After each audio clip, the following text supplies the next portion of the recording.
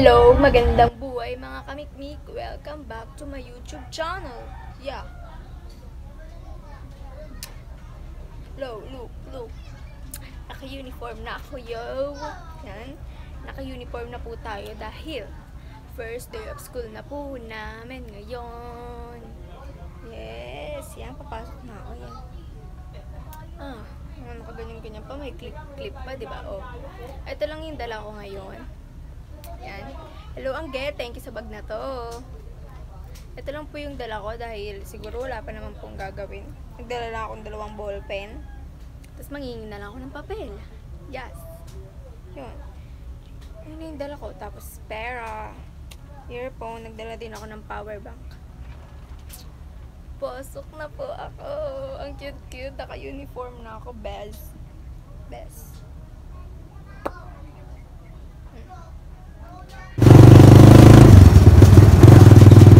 Papunta na po ako ng TV kasi ando na po si Chris. Hintay na ako.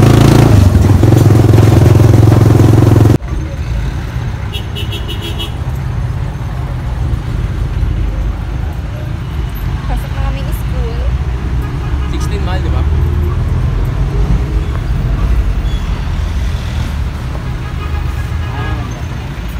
Angkas man. Yo! Angkas oh. Kaso.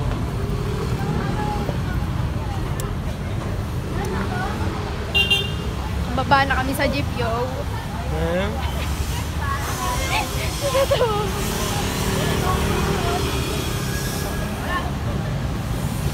Pupunta kaming 7-Eleven kasi doon kami maghihintay ng mga tropa ko.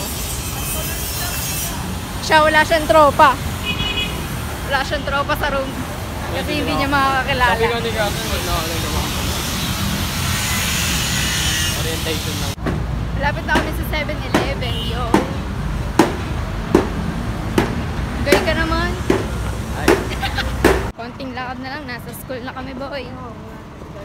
Boy, ang oras na boy. Late na tayo boy. Late na kami kasi bumili pa siyang ballpen tsaka lace. Boy! Boy! Boy, ang tagal mo boy.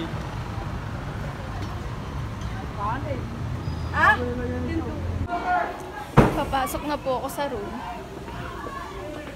303. Ipin, okay. Opportunity kasi nandito na. September. Man. Alam. Parang awit niya si Miss Pam. Ito. Sino ka ba eh? Wala pa nga eh. Make na kasi! Pag-may pressure!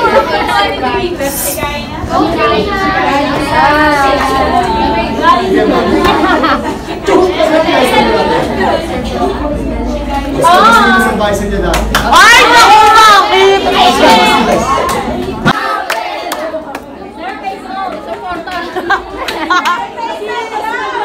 Go, baby!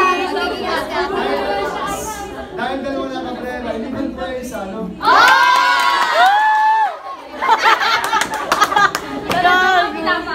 Sige na, sir, lipat mo na.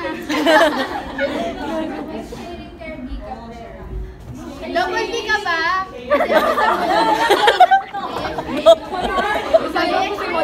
Talent by talent.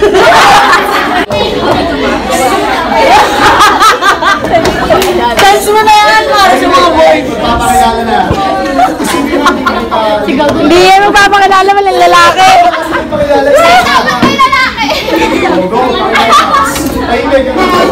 Go, baby! Iba yan. Si Mara, tumabling. Sino Lisa, sumayaw pa dito ng... Kaya ko pala eh. Pakitaan mo, B. Pakitaan mo! Si Piang na stumble jump eh. Kaya nga yung pinapakita sa sayaw. Ikaw gusto lang makita ko yun. Ayun, ayun.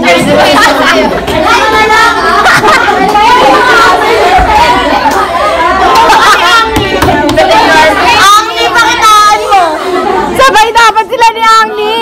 Or, hindi ka makakapasok. Oh! Go. Go, baby! Go, baby. Hulog ko pa sa akin ha. Lipat kita, bababa na ako. Sige, sige. si ate, oh. Si ate.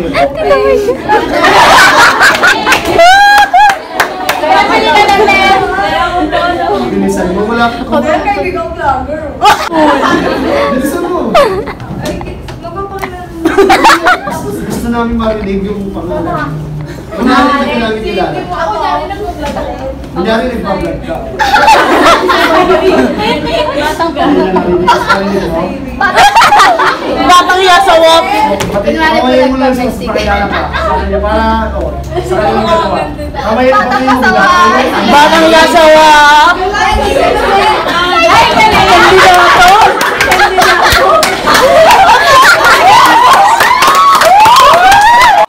So, ayun. Ang ingay po sa Rio.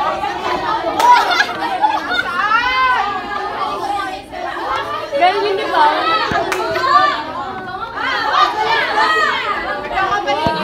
Hoy, wala kayo!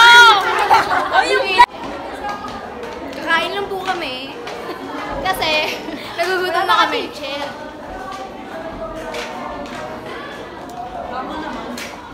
Ha? Wala naman kaming teacher eh.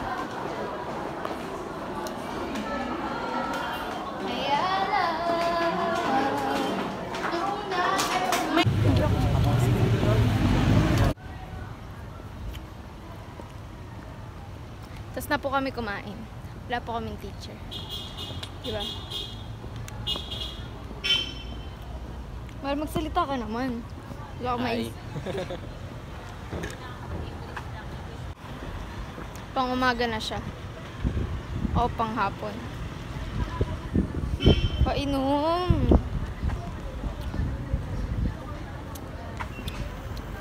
Babalik na kami sa room ulit. Yuck, bastos. Huwag ka muna bumalik sa room. Wala pa akong kasama. Oo. Naman, yung teacher namin. So, ayun, mag-isa na lang po akong umaakyat. Kasi pumasok na yung jowa ko. Tsaka yung mga tropa ko wala pa kumakain. Hinihingal lang. Papunta na po ako sa room.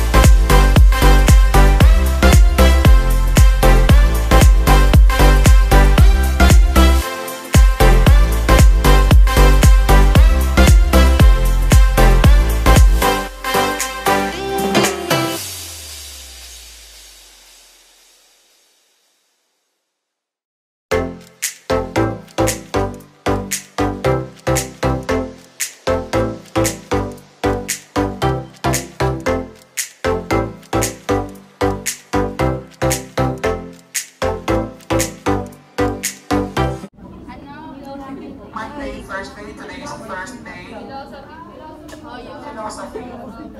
Ito ko. Bakit yung ganyan pa tayo, diba? Because we once experienced the same thing. Kaya kasi nawag na literature kasi siya yung mirror ng buhay natin. Nagkataon lang sila ng iba. Pero do you think that that something is not the same as what you experience? Yan na pagkatagal-tagal ng 1800s pa. Why is it that paulit-ulit na binabasa? Eh kasi nga, relevant siya all the time. Nainda ba kayo? Ako ako nga eh, tatlong beses. Hindi ako oo, ako gabi-gabi. Nangyari din sa Romeo and Juliet. Oo.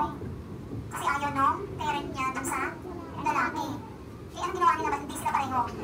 Hindi pinaglaban. Sa palagay mo, hindi nyo kayang gawin yun?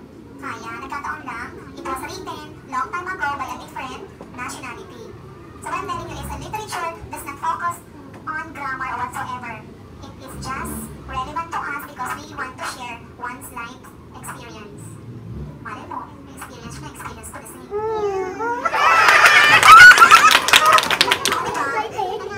Ako grade 4 pa lang, parang di na ikaw. Grade 4 pa lang, ano na ako, may crush na ako, ikaw. Oh, grade 1 siya. Joke lang. So yun yung content ng literature is purely life's experience. So walang kakaya doon. Relate what must be related. Why? Yung aral niya, pwede niya ma-share sa iba. Eh ako nga naman na-improve eh. Nung nailabas ko sa kanya, bigla ako iniwan. Tumalon ako sa bangko. Kasi mahal ko siya. Kaya niya ba gawin yun? Depende sa sitwasyon. Hmm. Yan, iniiyak na, alala.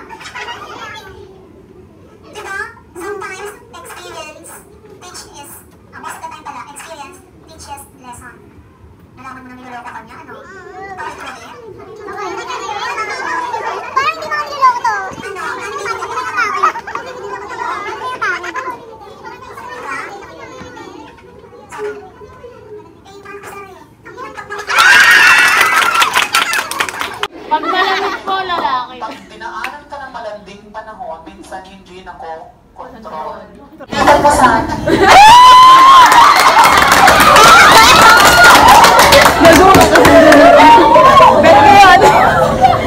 Our story is not just about life. Kaya siya 21st century because Paano kayo nagkakilala sa inuman? pagdating ng Tuesday, may pang... Talo na po kami sa game. Hoy! Hoy! Hindi na kayo. Na mo. Hoy, magay ka. Gaway, gaway na. Gaway, gaway. Alam, di ka kalma!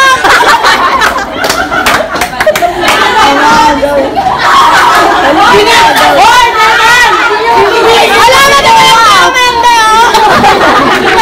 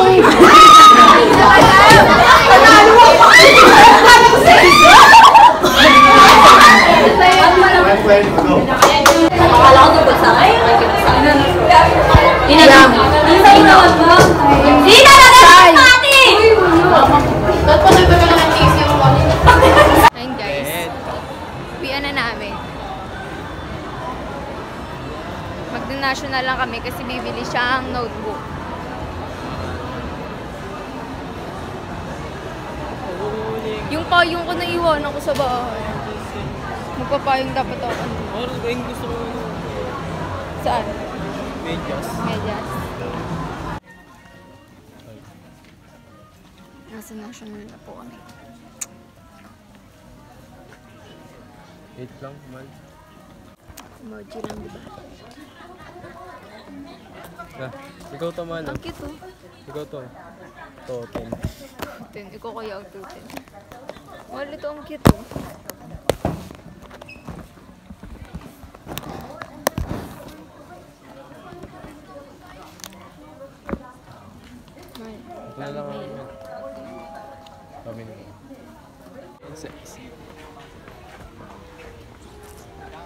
Pakita mo naman yung notebook mo.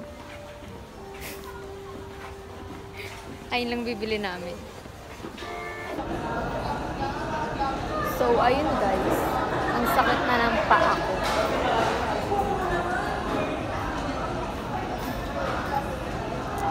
Andito po kami ngayon sa KFC. Kain. Kakain lang po kami ni Prince kasi hindi pa po kami kumakain. Tusok-tusok lang ang kinain namin kanina sa school. Tsaka di kami kakain kasi wala kaming pera. Pautang na naman kami sa ipon namin. Kasi nagugutom po kami. So yun, bumili lang siya ng notebook. And akala namin pares kami ng sked. Pero hindi pala. Kasi yung schedule niya, pag regular class, 6.30 to 1 p.m. Tapos ako panghapon, 1 p.m. to 7.30. Pero may ubi kami hanggang 8.30. Yun. Diba? So sad. Ayun, ang nangyari lang pala, kwento ko yung nangyari sa room. Naglaro, bale, tatlong teacher lang yung namit namin. Si Sir Morales, yung advisor namin. Tapos si Sir... Ano ba yun? Nakalimutan ko agad. Basta, dalawa, bagong teacher namin. And um, ano, feeling namin, makakasundo namin yun. Yung dalawang teacher kasi sobrang bait nila, tsaka nagpapatawa din. Mahilig din sila magpatawa. Ayun. Ay, apat pala kasi si Sir Basiles. Teacher na naman namin si Sir Basiles. Grabe. Teacher na naman. Magandang teacher si Sir Basiles. Kasi magaling talaga siya magturo. Yun. Magaling siya magturo. Tsaka, mapipiga na naman ang aming utak talaga. Kasi mara, ano siya talagang ano bang word? Sobrang magaling siya magturo, tsaka madami din siyang pinapagawa. Yun, pero okay din naman yun kasi matututo ka, matututo ka talaga sa kanya. Kasi naglaro lang kami sa kanya kay Sir Basiles. Sobrang saya. Ayun lang, inihintay ko lang si Prince ngayon kasi umu-order po siya. Tagal niya. Pagtas nito kami kumain, uuwi na kami. So bukas, hindi na kami sabay. Ngayon lang. Ngayon lang talaga. Last year din, nung first sem, siya- ako naman yung pang umaga, siya naman yung panghapon. Kaya minsan lang kami magkikita. Akala namin ngayon, ma- magkikita ka- na kami araw-araw. Kasi, ang schedule ng pasok namin, Monday hanggang Saturday. E kada linggo naman, nagsisimba kami. Kaya akala namin magkikita na kami araw-araw. Hindi, hindi din pala. Kasi, kasi unang schedule niya, yung unang binigay sa amin, panghapon din siya. Tapos ngayon, nagbago, nagbago ng sked. Binigyan ulit ako, panghapon ulit ako. Ito siya, pang umaga na. Ayun. Sobrang nakakalungkot guys. Hmm. Hmm. Pati yung mga friends niya. Panghapon din. Kaya wala siyang kasabay pumasok. Pati umuwi. Wala din siya, Wala din ata siyang kilala sa room. Ang dami ko nang dinaldal. 4 minutes na akong dumadaldal. Salita ka na, sabihin mo. So, ikaw may sasabihin ka eh. May sasabig ka? Tapos na po kami kumain. Ayun lang. Tapos na po kami kumain.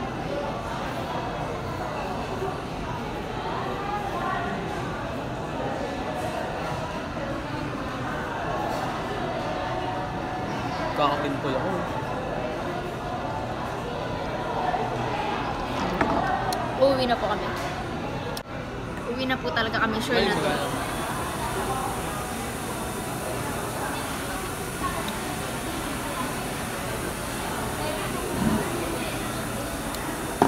So guys, ayun lang. Ito lang ang first day of school ko. Boring. Boring. Ayun lang guys, yung first day of school, ayun na po yung nangyari. Yung iba, hindi ko napakita kasi may teacher ko. And bawal mag-cellphone. Ayun lang guys. Don't forget, alam niyo na, subscribe to my YouTube channel and click the notification bell para lagi kayong updated sa mga i-upload kong video. And also, follow me on my social media account. I will link it down sa description box and lalagay ko sa screen. Yun lang. Bye! Bye! Ayun yung jowa ko. Nagugas siya ng kamay. So, ayun na. Magbay ka na. Magbay ka tapos na yung, yung vlog. Hindi naman naman ako video. Magbay ka na. Ah. Yun naman. Oh, sige. Magbay ka na. Magbay ka na.